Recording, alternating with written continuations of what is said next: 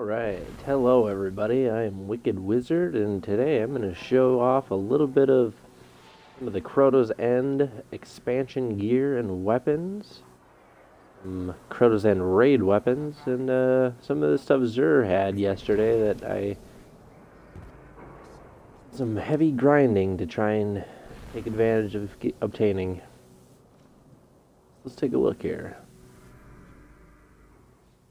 Alright, to start off, we'll get the upgraded Achlyophage for coins, no problem. Had plenty of those waiting. the uh, Eris gauntlets. You can see I was so busy saving Glimmer to exchange weapons from Xur, I didn't bother upgrading yet. These have pretty much the same specs as the the Vanguard army, so the the quest was fun, but I wouldn't really bother going of your way to get it done. Vanguard a Vanguard chess piece. I got this from uh, rank up day one. That's pretty convenient.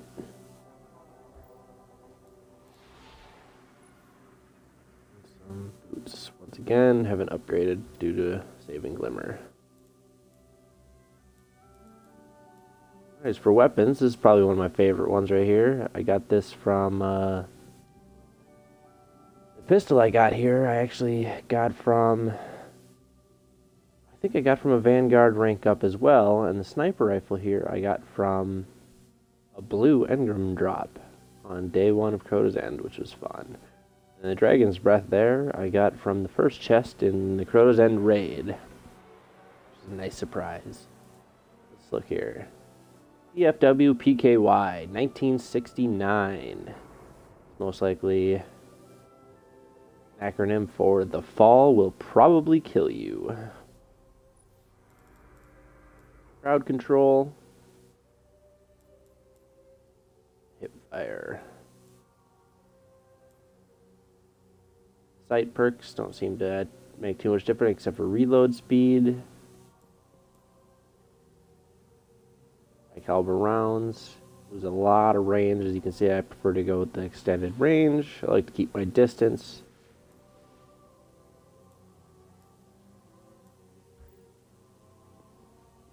Sniper rifle, longbow synthesis.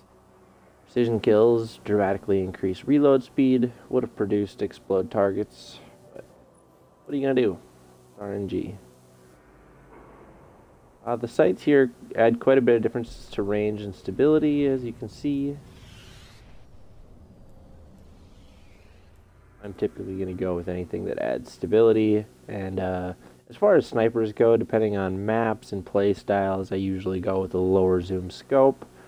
Some people prefer a nice high range scope. Uh, I like to be able to see the area around me better, so I'm not getting snuck up on. Once again, high caliber rounds. Impact on this weapon is pretty decent, so I was noticing I was staggering targets as long as it wasn't uh, an angry modifier on just fine with this. So, again, range, you know, considerable amount extra range there. So, keep my distance. And outlaw.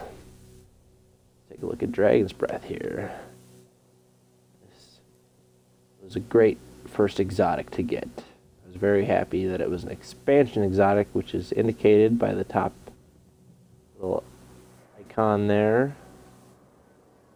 Me and a few friends were arguing about uh, a few of the redone weapons that they kept referring to as expansion weapons, and I said, no, no, no. Those are previous game weapons. They're Gen 2 weapons, not expansion weapons.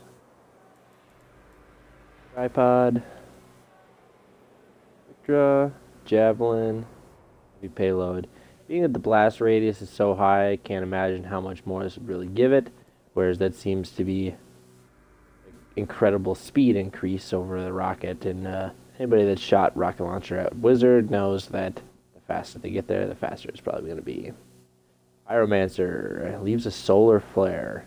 You know, this seems like a great perk, uh, especially if you know a major ultra is standing right in that solar flare, and it definitely will divert traffic. But uh, the solar flare really doesn't last near as long as I would have liked to see it last. It doesn't really provide as much of a funneling effect as you might hope to block off enemy routes, but nonetheless, it's still great. I love the iron sights on it. Love the look of it. Alright, so we went over some armor, some weapons, a few old weapons there. Murmur, everybody knows and ha should have. Alright, let's take a look in the stash and see what other goodies I got.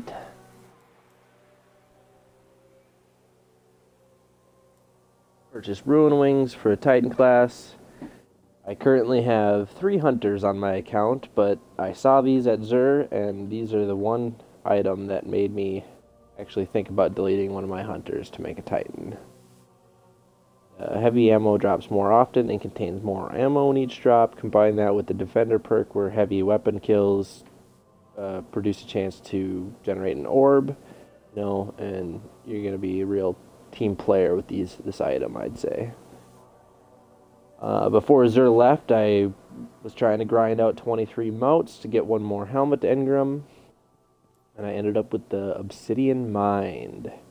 Once again, makes me want to delete one of my hunters to make another class, which many of my clanmates did from the beginning. You know, they've got three level 30s, you know, all three classes, and I'm sitting over here with three level 30 hunters pretty much but at the same time, there's nothing like upgrading an exotic in half of a day by doing bounties on all three characters. So.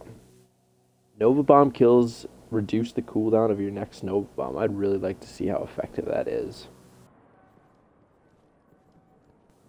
Uh, so the first two engrams were bought from Xur. The first was an upgraded, or uh, Gen 2 rather, uh, Apotheosis Veil for Warlock, and the second one was the ATS-8 Arachnid.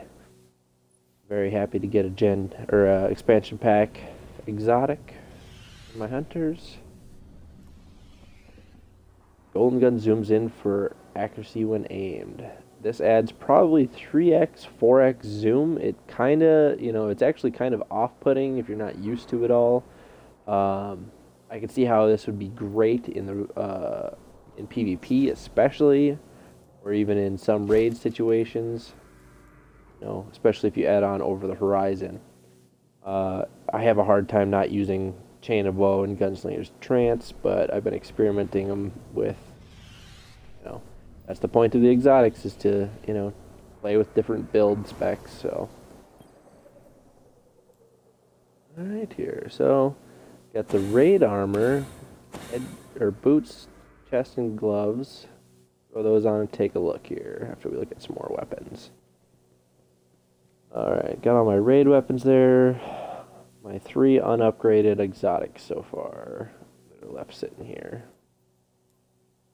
Uh, so yesterday while Xur was here, I basically had every weapon that he had available to exchange. So I felt the need to try and get that done.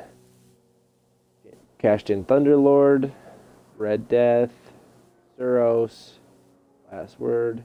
And Icebreaker was the first one I got, of course. The first one I'm upgrading.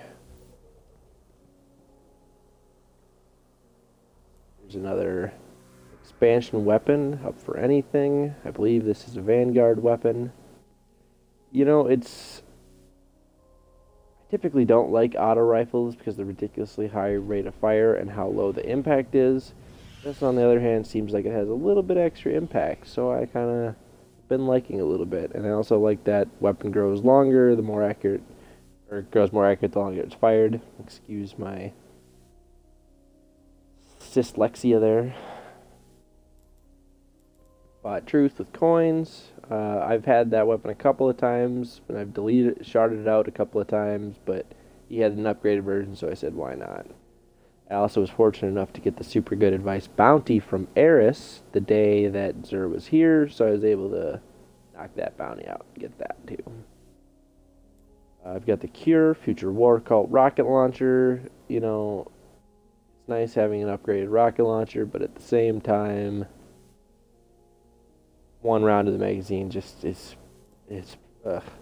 Pointless for me. You know, and radar stays active with the rocket launcher. It's just, uh, you know, I'm probably not going to upgrade this thing except for maybe keeping it in case I don't get another void heavy for doing nightfalls and such.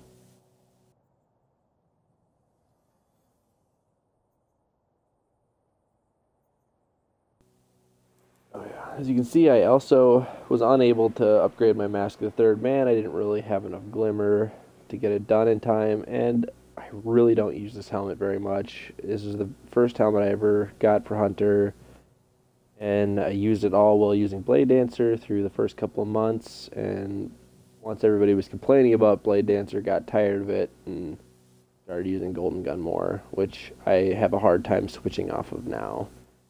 Same with the young Ahamkaras. Uh, you know, I play with this once in a while in Crucible. Uh, didn't that didn't really seem like the seven thousand glimmer be worth it. So, you know, maybe I'll just keep it and bust out for Crucible once in a while. The others, you know, I'm so tempted to shard some of these old things out, but then it's like, well, you can save them for the level 30 Nightfall, you know, to vary your build depending on what's going on in those. Let's take a look at the raid armor here.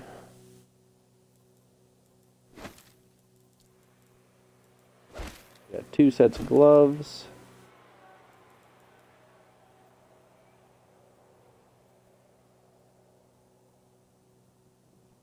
Third eye skull there. This knife on your side. And the teeth on your chest piece is pretty rad his gun were down, you can see he's kind of got this cool hive spike on his shoulder. I do have the raid cloak. Uh, it's on a. I have two of them. They're on different characters though. Look at these perks. Uh, this Hive Destroyer perk seems to work uh, even when you're not in the raid, so that's kind of cool.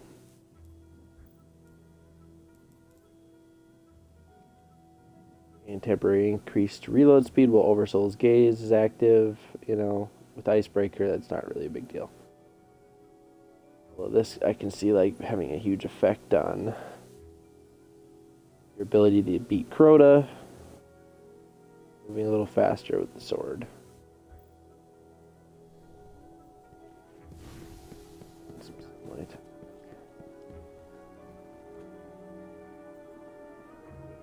There's the raid set. My opinion, uh, this raid set is much, much better looking than the Vex raid set.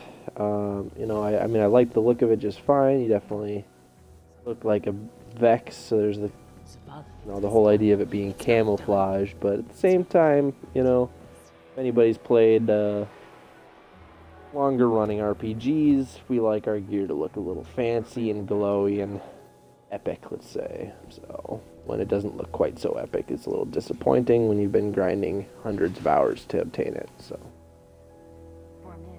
All right, thanks for tuning in. This has been a Wicked Cruel production. I'm Wicked Wizard, uh, and my buddy Foosbag is going to have this up on his YouTube channel. Feel free to check him out at Twitch TV slash Foosbag, F O O S B A G.